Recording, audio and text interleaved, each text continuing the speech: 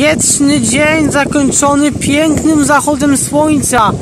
Prawdopodobnie jeszcze z pyłem saharyjskim, który już nas żegna. Prawdopodobnie czeka nas ochłodzenie w przyszłym tygodniu, ale krótkie. Będzie bardzo krótkie ochłodzenie. Patrzcie jaki fajny zachód słońca. Na razie przerwa od burz. Jak będą miały być jakieś burze, dam znać oczywiście na e, priv, w sensie na tym, na mes.